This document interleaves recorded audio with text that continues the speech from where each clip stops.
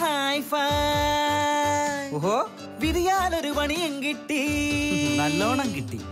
എന്നും ഓരോ ഭൂകമ്പം ചോദിക്കുന്നു ഇതേ ചോദ്യം. എന്തായി? എന്തായി?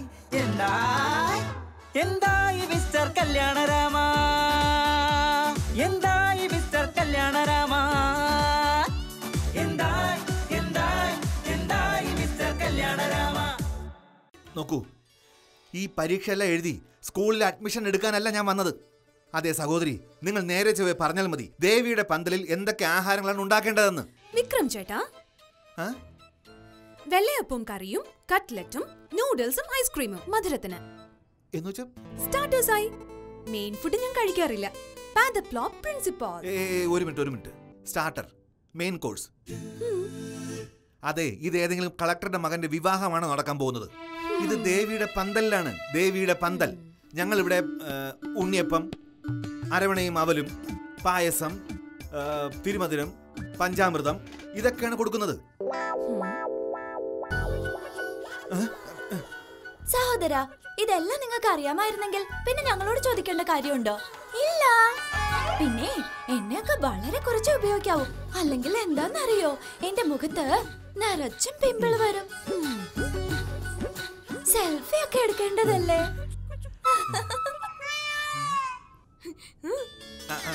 ഇത് പറയൂ ഏത് ഉണ്ണിയപ്പം ഉണ്ടാക്കുന്നേ? റവ ഉണ്ണിയപ്പം മൈദ ഉണ്ണിയപ്പം അരി ഉണ്ണിയപ്പം അവൽ ഉണ്ണിയപ്പം പിന്നെ അരി കൊണ്ടുള്ള അരി കൊണ്ടുള്ള ഉണ്ണിയപ്പം. അരി ഉണ്ണിയപ്പത്തിൽ ഏതാ? ജീരകം ഇട്ടത് തേങ്ങ ഇട്ടത് ഏലക്ക ഇട്ടത് സാധാരണ ഉണ്ണിയപ്പം പിന്നെ ഇങ്ങനെയൊക്കെ ഉണ്ടാക്കാറുണ്ടോ? നോക്ക് ചേട്ടാ നേരത്തെ തന്നെ എല്ലാം തീരുമാനിച്ചു വെക്കണം. കറികളിൽ എത്ര വെള്ളം ഒഴിക്കും എത്ര ഉപ്പിടും എത്ര നേരം വേവിക്കും എന്നൊക്കെ. ആളുകൾക്ക് കൊടുക്കുന്നതിന് മുമ്പ് എല്ലാം നമ്മൾ ടെസ്റ്റ് ചെയ്യണ്ടേ? നോക്ക് രുചിയെല്ലാം നല്ലതായിരിക്കണം. രുചി ഇല്ലെങ്കിൽ പിന്നെ പണം തരുന്നതായിരിക്കില്ല. എന്നാ ചേച്ചി പറഞ്ഞത്. ഈ ചേച്ചിയെ പേയ്മെന്റ് തരുന്നേ. മിസ്റ്റർ വിക്രമൻ ഇത് പിടിക്കും. പതിനായിരം രൂപ അഡ്വാൻസ് ഉണ്ട്. ഇത് ശരിയാവില്ല. ഇവർക്ക് നീ ചെയ്യുന്നൊന്നും ഇഷ്ടപ്പെടില്ല. പേയ്മെന്റ് കിട്ടുകയുമില്ല. ഈ സഹോദരിമാർ നിന്നെ നാറ്റിക്കുകയും ചെയ്യും.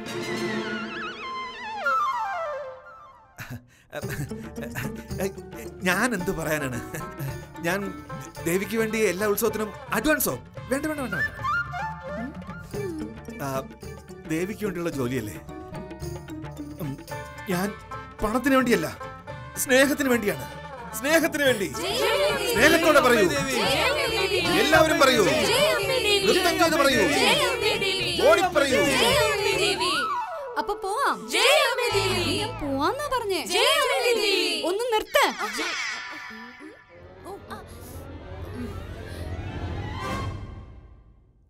ആമേ ഇതല്ല? ആ കാറ്ററിംഗ് കാരൻ ഇപ്പൊ വന്നതേ ഉള്ളൂ. അയാൾക്ക് എല്ലാം പറഞ്ഞു കൊടുത്തിട്ടുണ്ട്. ഇപ്പൊ പുറത്തേക്ക് പോയതേ ഉള്ളൂ. വിക്രമ? ആ? ഓർഡർ പറഞ്ഞൊക്കെ മനസ്സിലായോ? അയ്യോ അമ്മേ. അമ്മയുടെ അഞ്ചു മരുമക്കൾ എന്നെ നല്ലതുപോലെ പറഞ്ഞ് മനസ്സിലാക്കിയിട്ടുണ്ട്. നല്ലതുപോലെ. എന്റെ ജീവിതത്തിൽ ഞാൻ മറക്കില്ല. എന്താ? ഇത്ര നല്ല ഇത്ര നല്ല രീതിയിൽ ഭക്ഷണം ഉണ്ടാക്കുമോ എന്ന് ചോദിക്കുകയേ വേണ്ട. വേണ്ട. പൊയ്ക്കോ. നീ പറഞ്ഞതുകൊണ്ട് ഞാൻ ചോദിക്കുന്നില്ല. എല്ലാ സമയത്ത് തന്നെ ചെയ്തേക്കണേ. ആ ജയദേവി. ജയദേവി. എന്താ ചേട്ടാ ഇത്? ചേട്ടൻ ചെയ്യാൻ നേരിട്ട് പിന്നെ എന്താ അഡ്വാൻസ് വാങ്ങിക്കാതെ വന്നത്? എടാ അഡ്വാൻസിന്റെ കാര്യം വിട്. ഇവരുടെ രുചിക്ക് കറികൾ ഉണ്ടാക്കാൻ പോയാൽ ഒരു കറിക്ക് അമ്പത്താറ് ദിവസം വേണം. ഇതൊന്നും നടക്കാത്ത കാര്യമാ ഓർഡർ ക്യാൻസൽ ഓം ശിവശങ്കരായ നമ ശങ്കര.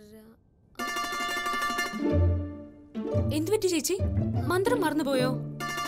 അല്ല സഹോദരി ധ്യാനത്തിനിടയിൽ എനിക്ക് തോന്നുന്നു എന്തോ ആപത്ത് സംഭവിക്കാൻ പോകുന്നുവെന്ന്. എന്താ? എന്തെങ്കിലും തെറ്റ് സംഭവിക്കും തോന്നുന്നുണ്ടോ?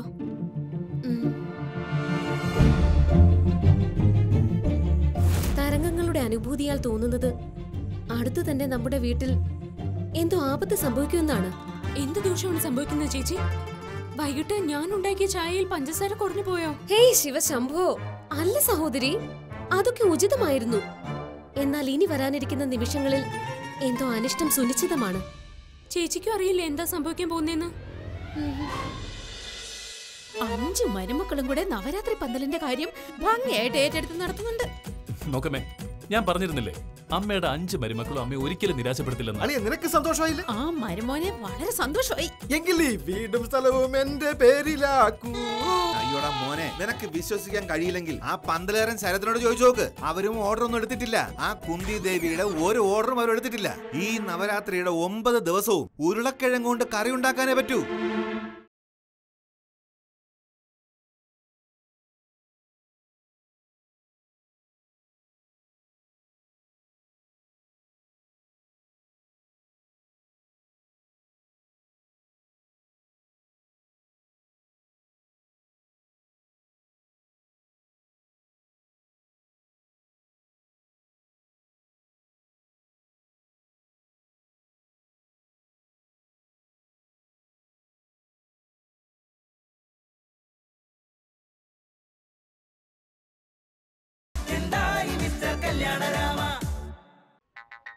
ഒരു പാക്കറ്റ്.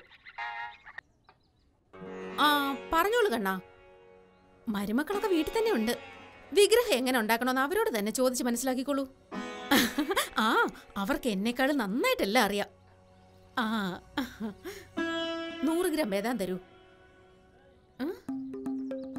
കുന്തി ബദാം വാങ്ങുകയാണോ? ഏ അയ്യോ അതിന് പകരം തുണിയോ ടവലോ എന്തെങ്കിലും വാങ്ങിക്കേ. നാളെ പന്തലൊരുക്കത്തിൽ തോറ്റുപോയാൽ മുഖം മറയ്ക്കാൻ അത് ഉപകരിക്കും.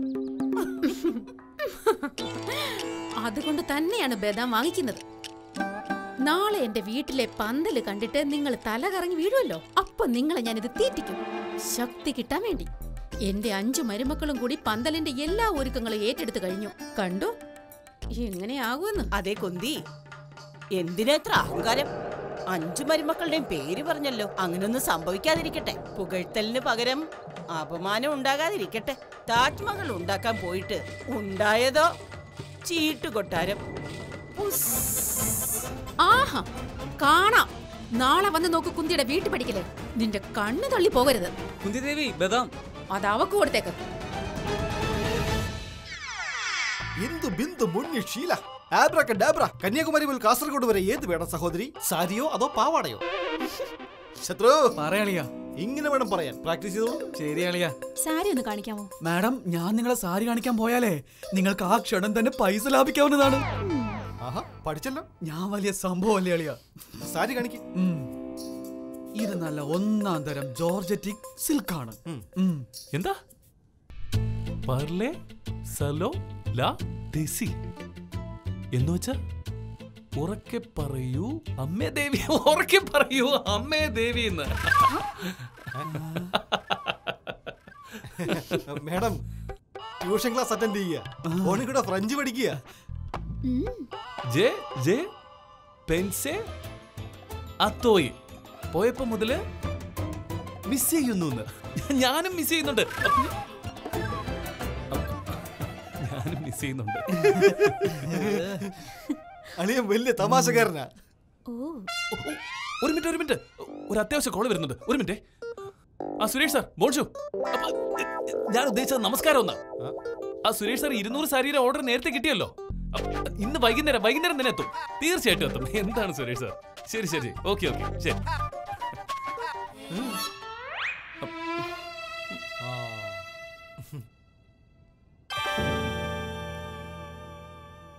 ചേച്ചിയുടെ സംശയം ഒരിക്കലും തെറ്റാറില്ല. ചേച്ചി പറഞ്ഞു ബി എ ഫസ്റ്റ് ഇയറിൽ ഞാൻ തോറ്റു പോകുന്നു. അത് തന്നെ സംഭവിച്ചു. പിന്നെ പറഞ്ഞു രാധ ചേച്ചി തുണി ഉണക്കി ഉണക്കി ടെറസിൽ നിന്ന് വീഴുന്നു. അതും സംഭവിച്ചു. പിന്നെ പറഞ്ഞു മനുചേട്ടൻ മൊട്ടത്തലയനാണെന്ന്. കഴിഞ്ഞ കാറ്റിട്ട് അവന്റെ വിഗ് പറന്നുപോയി. അപ്പൊ മനസ്സിലായി മൊട്ടത്തലയാണെന്ന്. ചേച്ചിക്ക് ഇന്നും തോന്നുന്നു എന്തെങ്കിലും സംഭവിക്കുമെന്ന്. എന്ന് വെച്ചാൽ എന്തെങ്കിലും തെറ്റായിട്ടുണ്ടാവും. ഇനി കാർത്തികേയൻ എന്തെങ്കിലും? സഹോദരി ശിവശംഭോ ശിവശംഭോ. അദ്ദേഹത്തിന് എന്തെങ്കിലും അനിഷ്ടം സംഭവിച്ചിട്ടുണ്ടോ? എന്നറിയാൻ വേണ്ടി ഫോൺ ചെയ്ത് ചോദിച്ചാലും. ഫോൺ ചെയ്ത് കാര്യങ്ങൾ മനസ്സിലാക്കാമെന്നാ ചേച്ചി പറഞ്ഞത്.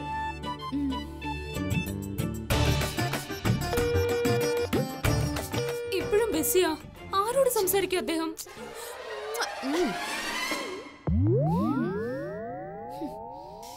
ഇപ്പൊ എനിക്ക് മനസ്സിലായി ആരോടാ സംസാരിച്ചതെന്ന്.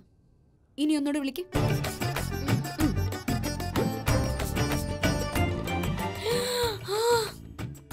ഫോൺ റിങ് ചെയ്യുന്നുണ്ട്.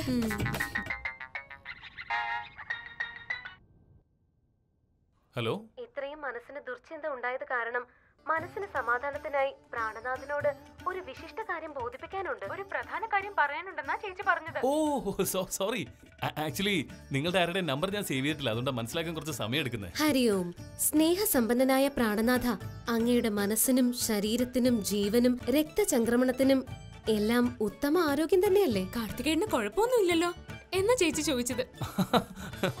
എനിക്ക് ഒരു കുഴപ്പമില്ല. കൃപ തോന്നി ഒന്നുകൂടി ചോദിച്ചോട്ടെ. അങ്ങക്ക് എന്തെങ്കിലും സ്ഥലകാലഗതി അറിയാൻ പറ്റാത്ത സ്ഥിതിയൊന്നും ഇല്ലല്ലോ തലകറക്കൊന്നുമില്ലല്ലോ ഇല്ലല്ലോ ഇല്ലില്ല തലകറക്കൊന്നുമില്ല. പ്രാണനാഥ സങ്കടം തോന്നിയത് കാരണം ചോദിച്ചതാണ്. താങ്കളുടെ ആരോഗ്യം നന്നായിരിക്കുന്നു എന്ന് അറിയാതെ ഞങ്ങൾക്ക് സമാധാനമില്ല. ചേച്ചിക്ക് സംശയം തോന്നി. കാർത്തികേണ്ട എന്തോ സംഭവിച്ചെന്ന് അത് ചോദിച്ചു മനസ്സിലാക്കാന്ന് കരുതി. നിങ്ങൾക്ക് കുഴപ്പമൊന്നുമില്ലല്ലോ? ആ ഇവിടെ എല്ലാം ഓക്കെ നിങ്ങൾ നിങ്ങൾ അവിടെ പന്തലിന്റെ കാര്യം മാത്രം ശ്രദ്ധിച്ചാൽ മതി. ഇവിടെ എല്ലാം ഓക്കെ അവിടുന്ന് പറഞ്ഞതുപോലെ. ഹരിയോ. ഓക്കെ ചേച്ചി അവിടെ ഒരു കുഴപ്പമില്ല. പിന്നെ എവിടെ കുഴപ്പം? അയ്യോ ഇല്ല സരള ഇവിടെ ഒരു കുഴപ്പമില്ല. എന്റെ അഞ്ചു മരുമക്കളും കൂടി നവരാത്രി പന്തലിന്റെ എല്ലാ കാര്യങ്ങളും വളരെ ഭംഗിയായി ഏറ്റെടുത്തിട്ടുണ്ട്. നീ ഇത് കേക്ക്. സുധയോടും വിമലയോടും ഗായത്രിയോടും എല്ലാം പറയണം. നന്ദിനി അങ്ങോട്ടും ഇങ്ങോട്ടും ഒക്കെ പോകുന്നത് കണ്ടാൽ ശരിക്കും പരിഹസിച്ചു വിട്ടേക്കണോന്ന് കേക്കട്ടെ അവൾ. ശരിക്കും അറിയട്ടെ ഇത്തവണത്തെ നവരാത്രി മണ്ഡപത്തിന്റെ ഒരുക്കത്തിൽ നമ്മുടെ അസോസിയേഷൻ ജയിക്കും. ഹരി അമ്മായി അമ്മായിയോട് എനിക്കൊരു കാര്യം പറയാനുണ്ട്. അമ്മായി അമ്മായി. എന്തിനാണ് ഈ പുഞ്ചിരി? ചിരിയില്ലെന്താ ഒളിച്ചിരിക്കുന്നത്. ഓ ചിരിയില്ലെന്താ അമ്മയ്യ ഞാനിപ്പോ ഹാർമോണിയം വായിച്ച് കേൾപ്പിക്കാം.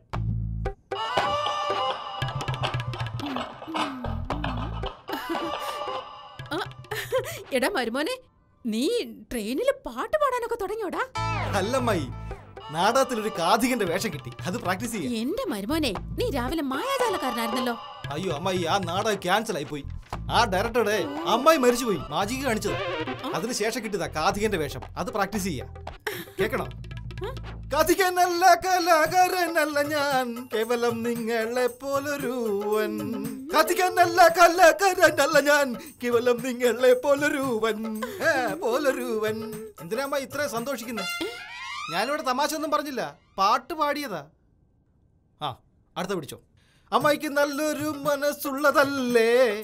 ഈ കാണും വീടും സ്ഥലവും എന്റെ പേരിലാക്കൂ. ആക്കൂ ഈ കാണും വീടും സ്ഥലവും എന്റെ പേരിലാക്കൂ. ആക്കൂ.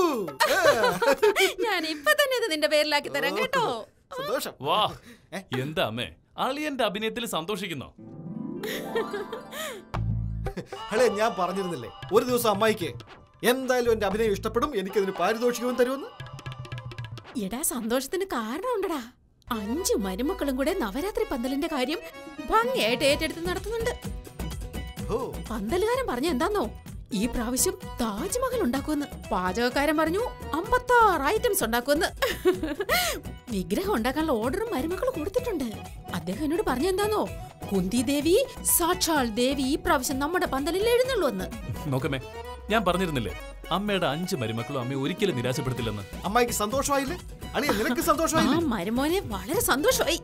എങ്കിൽ ഈ വീടും സ്ഥലവും എന്റെ പേരിലാക്കൂ. വീടും സ്ഥലവും എന്റെ പേരിലാക്കൂ. വീടും സ്ഥ- അപ്പൊ ഞാൻ മാത്രം സന്തോഷിക്കണ്ട അല്ലേ? സാരമില്ല. ദുഃഖം ഞാൻ ഹാർമോണിയം വായിച്ചു തീർത്തോളാം. ചേച്ചി എന്തോ അനിഷ്ടം സംഭവിച്ചു. വരൂ ചേച്ചി.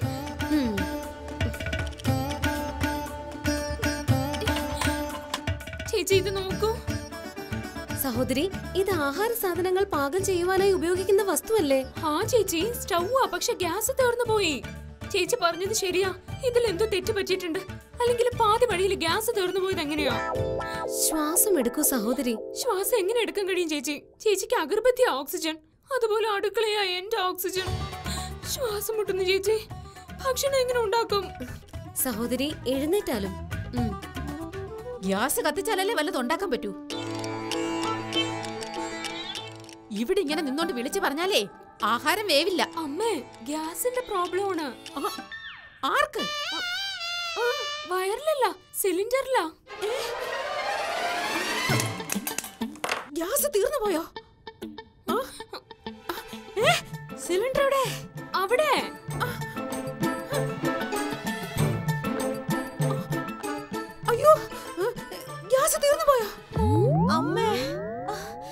ഗ്യാസ് കയറിയിട്ട് ഒരു രക്ഷയില്ല. ഗ്യാസിന്റെ ഗുളികതാ വയറ്റിലല്ല സിലിണ്ടറിലാ. ഗ്യാസ് തീർന്നു പോയോ? അതെങ്ങനെ? എന്താ ഇങ്ങനെ അറിയാമോ? ആരെങ്കിലും നല്ല ഔഷധ ഗുണമുള്ള വായുഗുളിക കഴിച്ചു കാണും. വയറ്റിലല്ല സിലിണ്ടറിലാ. ഇവിടെ ഇരുപത്തഞ്ച് ദിവസമല്ലേ ഗ്യാസ് ഉപയോഗിച്ചോണ്ടിരിക്കുന്നത് പിന്നെ പതിനഞ്ച് ദിവസം കൊണ്ട് എങ്ങനെ ഗ്യാസ് തീരുന്നേ? അമ്മേ. എനിക്ക് തോന്നുന്നു ഈ സിലിണ്ടറിൽ ഹോൾ ഉണ്ടാകുമെന്ന്. ഐഡിയ ഒരു കാര്യം ചെയ്യാം. തീപ്പെട്ടി ഉരച്ച് നോക്കാം. എവിടെ നിന്നാണ് കാറ്റ് വരുന്നതെന്ന്. അയ്യോ അമ്മേ! തീപ്പെട്ടി തീപ്പെട്ടി. അമ്മേ അതിങ്ങ് ദൂരെ വെക്ക് എന്റെ മോളെ നീ തന്നെ പറ. പതിനഞ്ച് ദിവസം കൊണ്ട് എങ്ങനെ ഗ്യാസ് തീർന്നു പോയെന്ന്? അമ്മേ ഞാൻ രാവിലെ എന്നത്തെ പോലും ഉണ്ടാക്കിയുള്ളൂ മൂന്ന് മണിക്കൂർ പ്രാതൽ മൂന്ന് മണിക്കൂർ ലഞ്ച് മൂന്ന് മണിക്കൂർ ഡിന്നർ. നീ അടുക്കളയിൽ ചോറും കൂട്ടാനും ഉണ്ടാക്കുകയാണോ? അതോ സിനിമ കാണുകയാണോ? മൂന്ന് മണിക്കൂർ വീതം. അമ്മേ ഒരു കൂട്ടം അല്ലല്ലോ ഉണ്ടാക്കുന്നത്. ചിലർക്ക് പരിപ്പ് കറി ചിലർക്ക് കടലക്കറി ചിലർക്ക് ഗോപി മഞ്ചൂരിയൻ ചിലർക്ക് കോളിഫ്ലവർ വറുത്തത് ചിലർക്ക് എണ്ണ കൂടുതൽ വേണം ചിലർക്ക് എണ്ണ വേണ്ട. ഞാനാണെങ്കിൽ മിച്ചം വരുന്ന ഭക്ഷണമല്ലേ രാത്രി കഴിക്കുന്നത്? ഇവിടെ എല്ലാരും വേറെ വേറെയാണോ കഴിക്കുന്നത് അമ്മേ അതെന്താന്നറിയോ? എനിക്ക് ആരുടെയെങ്കിലും ഭക്ഷണപ്രിയം പൂർണമാകുന്നത് അവരുടെ അവസാന ആഗ്രഹം സാധിച്ചു കൊടുക്കുന്ന പോലെയാ. മനസ്സ് തുടിക്കാൻ തുടങ്ങും. എന്താ ആദ്യം ഉണ്ടാക്കേണ്ടതെന്ന്? ചപ്പാത്തി ഉണ്ടാക്കണത് കറി ഉണ്ടാക്കണമെന്ന് ചപ്പാത്തി വേറെ ഉണ്ടാക്കുന്നത് ചിലർക്ക് എണ്ണ വേണം ചിലർക്ക് എരിവ് വേണം ചിലർക്ക് മധുരം വേണം ചേച്ചിക്ക് ദോശ വേണം പിന്നെ പ്രതിഭ ചേച്ചിക്ക് ഗോതമ്പ്. ഇന്ന് എനിക്ക് ഗോതമ്പിന്റെ പുട്ടുമതി പിന്നെ സുന്ദരിക്ക് സുന്ദരിക്ക് ചപ്പാത്തി. സുന്ദരിക്ക് ഗോതമ്പ് കൊണ്ടുള്ള ചപ്പാത്തി ഇഷ്ടമാണ് പിന്നെ പ്രേമിക്ക് ചെറുപയർ. ബജൂർ. എനിക്ക് തോന്നുന്നേ ഇവൾക്ക് സ്നേഹം കൊണ്ടുള്ള റൊട്ടി ഉണ്ടാക്കിയാ മതിയെന്നാ. അമ്മേ ഗ്യാസിൽ ധാന്യത്തിന്റെ റൊട്ടി ഉണ്ടാക്കുമ്പോ മനസ്സിൽ സ്നേഹത്തിന്റെ റൊട്ടി വേവാൻ തുടങ്ങും. ധാന്യങ്ങൾ കൊളസ്ട്രോൾ ഫ്രീ ആണല്ലോ. സേജസ് പാൽ ഫ്രീ പോലക്കോർ അത് ഹാർട്ടിന് വളരെ ബെസ്റ്റ് ആണ്. പിന്നെ ഹാർട്ടിന് നല്ലതാണെങ്കിൽ സ്നേഹത്തിന് വളരെ നല്ലതാണ്. പിന്നെ എന്താന്ന് വെച്ചാ ഇതേതോ മഹാൻ പറഞ്ഞതാണ്. ഹൃദയം മിടിച്ചുകൊണ്ടേയിരിക്കും. മതിയമ്മേ. ഇതല്ലാതെ പത്ത് പ്രാവശ്യം ചായ ഉണ്ടാക്കുന്നുണ്ട്. പിന്നെ മൂന്ന് പ്രാവശ്യം സുന്ദരിക്ക് സൗന്ദര്യം കൂട്ടാനുള്ള കാര്യങ്ങൾ ചെയ്യുന്നുണ്ട്. ബാക്കി സമയം ചേച്ചിയുടെ പ്രസാദത്തിനുള്ള കാര്യങ്ങളാണ് ചെയ്യുന്നത്. പിന്നെ മൂന്നാൽ പ്രാവശ്യം പ്രതിഭ ചേച്ചിക്ക് ബ്ലാക്ക് കോഫി അതെ എന്റെ മനസ്സെല്ലാം നിറഞ്ഞു. നീയൊക്കെ പൂജാമുറിയിലെ നിലവിളക്കിന്റെ തിരി പോലെ ഇരുപത്തിനാല് മണിക്കൂറും ഗ്യാസും കത്തിച്ചോണ്ടിരിക്കല്ലേ? അമ്മ ഈ പതിനഞ്ച് ദിവസം ഗ്യാസ് ഓടിയത് തന്നെ വലിയ കാര്യം. അമ്മേ അടുക്കള കൈകാര്യം ചെയ്യുന്നതിൽ അമ്മയുടെ മരുമക്കളും മിടുക്കരാണെന്ന് മനസ്സിലായില്ലേ? ഇനി സൂക്ഷിച്ചു അമ്മയുടെ നവരാത്രിയുടെ പന്തലിന്റെ കാര്യം എങ്ങനെ കൈകാര്യം ചെയ്യുന്നു? ഇവരെ അഞ്ചുപേരെയല്ലേ ഏൽപ്പിച്ചിരിക്കുന്നത് എല്ലാം കുഴപ്പമായി. എന്തുട്ടളിയാ നമ്മൾ നവരാത്രിക്ക് വേണ്ടി പന്തലിടാനിരുന്നില്ല? അതിന്റെ കാറ്ററിംഗിന്റെ മറ്റു ഓർഡറൊക്കെ ക്യാൻസൽ ആയി ഞാനിത് എങ്ങനെ അമ്മയോട് പറയും? വരാനുള്ളത് ഒരിക്കലും വഴിയിൽ തങ്ങില്ല. ഞാൻ ഒരിക്കലും അമ്മയോട് പറയില്ല. എന്റെ തല അല്ലി പൊട്ടിക്കും. തല പൊട്ടിക്കുന്ന എന്റെ ആയിരിക്കും ഇതൊക്കെ ഞാൻ അമ്മയെ കൊണ്ട് നിർബന്ധിച്ച് ചെയ്യിപ്പിച്ചത് ഞാൻ അമ്മയോട് പറഞ്ഞത് അമ്മ ടെൻഷൻ അടിക്കാതെ ഈ പന്തലിന്റെ കാര്യങ്ങളൊക്കെ മരുമക്കളെ ഏൽപ്പിക്കണമെന്ന്. അവരാണെങ്കിൽ എല്ലാ കാര്യങ്ങളും നശിപ്പിക്കുകയും ചെയ്തു.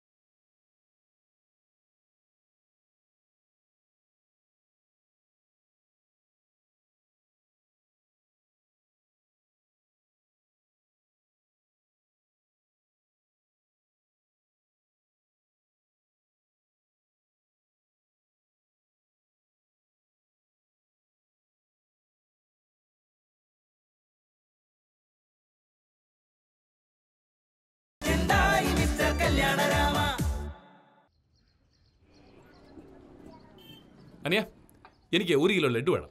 എന്റെ കടയിൽ നിന്ന് ഇരുന്നൂറ് സാരിക്ക് ഓർഡർ വന്നിട്ടുണ്ട്. അതും ട്രിവാൻഡ്രം മോളിൽ നിന്ന് ഷോപ്പിൽ നിന്ന് ഒരു കാര്യം ചെയ് നീ ഒരു രണ്ട് ലഡു കഴിച്ചോ. എടാ കണ്ണ നന്നായി മോനെ. നീ അവരുടെ ഓർഡർ എടുക്കാതിരുന്നത്. ആ അഞ്ച് മരുമക്കളില്ലേ നിന്റെ മൊത്തം പണിയും ഇല്ലാതായി കളയും. അയ്യോടാ മോനെ നിനക്ക് വിശ്വസിക്കാൻ കഴിയില്ലെങ്കിൽ ആ പന്തലേറൻ ശരത്തിനോട് ചോദിച്ചു നോക്ക്. അവരും ഓർഡർ ഒന്നും എടുത്തിട്ടില്ല. ആ കുന്തി ദേവിയുടെ ഒരു ഓർഡറും അവർ എടുത്തിട്ടില്ല. എനിക്ക് ആ കുന്തി ദേവിയുടെ കാര്യത്തിൽ കഷ്ടം തോന്നുന്നുണ്ട്. വേണ്ട വേണ്ട മോനെ എന്നോട് ക്ഷമിക്കേ. എനിക്കും പല കച്ചവടം ചെയ്യേണ്ടതല്ലേ? അവരുടെ ഓർഡർ ഇപ്പൊ ഞാൻ എടുത്താലേ? ഈ നവരാത്രിയുടെ ഒമ്പത് ദിവസവും ഉരുളക്കിഴങ്ങ് കൊണ്ട് കറി ഉണ്ടാക്കാനേ പറ്റൂ. ഇതാ മോനെ അഞ്ച് മരുമക്കളാ ഉള്ളത്. ഇതിനൊക്കെ എവിടെന്നാ കൊണ്ടുവന്നെന്നറിയില്ല ഡാ വിക്രമ നീ എന്താ ഇപ്പൊ പറഞ്ഞേ? നീ നമ്മുടെ ഓർഡർ ക്യാൻസൽ ചെയ്യിപ്പിച്ചു? ഓർഡർ എടുക്കുന്നില്ലെങ്കിൽ പിന്നെ നേരത്തെ പറയാത്ത എന്താ? അയ്യോ ചേട്ടാ ഞങ്ങൾ അഡ്വാൻസ് വാങ്ങിയില്ലല്ലോ. അപ്പോ അപ്പോ അപ്പൊ മനസ്സിലായിക്കോണം? ഞങ്ങൾ ഓർഡർ എടുത്തിട്ടില്ല എന്ന്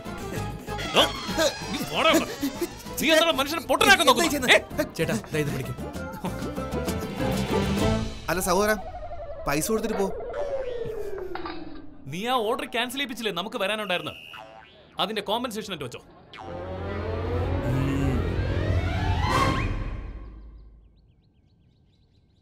ഈ കഥ നടക്കുന്നത് പത്മനാഭന്റെ മണ്ണായ തിരുവനന്തപുരത്താണോ? അല്ല.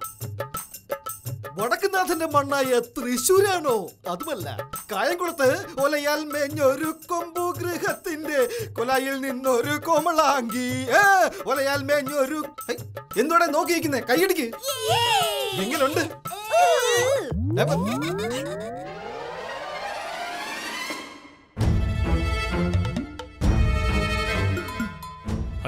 എല്ലാം കുഴപ്പമായി. എന്തുട്ടളിയാ നമ്മൾ നവരാത്രിക്ക് വേണ്ടി പന്തലിടാൻ ഇരുന്നില്ലേ അതിന്റെ കാറ്ററിംഗിന്റെ മറ്റു ഓർഡറൊക്കെ ക്യാൻസൽ ആയി ഒരു കാരണവശാലും അമ്മയോട് ഇതേപ്പറ്റി പറയരുത്. ഇത് താല്ല പോയാലും ഞാൻ അമ്മയോട് പറയത്തില്ല. പോയതൊക്കെ പോട്ടെ എന്റെ പൊന്നളിയ. അമ്മയോട് പറഞ്ഞാൽ നിന്റെ തലക്കിട്ടടി കിട്ടും. നവരാത്രി ഓരോ വർഷവും വന്നുകൊണ്ടിരിക്കും. വളരെ നന്നായിരിക്കും. എനിക്കിവിടെ ടെൻഷൻ കൊണ്ട് നിൽക്കാൻ പറ്റുന്നില്ല. നിങ്ങൾ പാട്ട് പാടുന്നോ?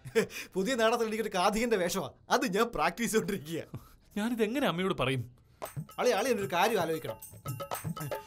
വരാനുള്ളത് ഒരിക്കലും വഴിയിൽ തങ്ങില്ല. ഞാൻ ഒരിക്കലും അമ്മയോട് പറയില്ല. എന്റെ തല അല്ലി പൊട്ടിക്കും. തല പൊട്ടിക്കുന്ന എന്റെ ആയിരിക്കും ഇതൊക്കെ ഞാൻ അമ്മയെ കൂടെ നിർബന്ധിച്ച് ചെയ്യിപ്പിച്ചത് ഞാൻ അമ്മയോട് പറഞ്ഞത് അമ്മ ടെൻഷൻ അടിക്കാതെ ഈ പന്തലിന്റെ കാര്യങ്ങളൊക്കെ മരുമക്കളെ ഏൽപ്പിക്കണമെന്ന്. അവരാണെങ്കിൽ എല്ലാ കാര്യങ്ങളും നശിപ്പിക്കുകയും ചെയ്തു. ഞാൻ നിങ്ങളെയൊക്കെ വിശ്വസിച്ച് അമ്മയോട് വഴക്കിട്ട് ഈ പന്തലിന്റെ ഉത്തരവാദിത്വം നിങ്ങളെയൊക്കെ ഏൽപ്പിച്ചു. അതൊക്കെ നിങ്ങൾ എന്താ മനസ്സിലാക്കാത്തത്? അവരിതുവരെ ഓർഡർ എടുത്തിട്ടില്ല എന്ന് വൈകിട്ട ദേവിയുടെ പൂജ. അമ്മ വെല്ലുവിളിച്ചിരിക്കുക നമ്മുടെ പന്തൽ ഈ കോമ്പറ്റീഷനിൽ ഫസ്റ്റ് ആവുമെന്ന് അമ്മേ ഞാൻ പറയുന്ന കേക്കമ്മേ ഇവർ അഞ്ചുപേരും അമ്മേ. നിങ്ങൾ ചെയ്തതൊക്കെ എനിക്കൊരിക്കലും ചെയ്യാൻ കഴിയുന്നതല്ല. വിക്രമനുണ്ടല്ലോ. നമ്മുടെ ഓർഡർ എടുത്തു കഴിഞ്ഞു. വിക്രമൻ കാറ്ററിംഗിന്റെ ഓർഡർ എടുത്തെന്നോ? ആ.